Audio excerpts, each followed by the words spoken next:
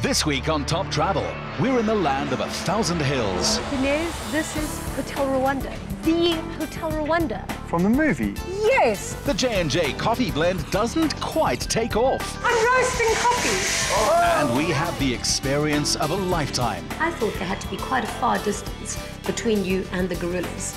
Little did I know that they would be amongst us.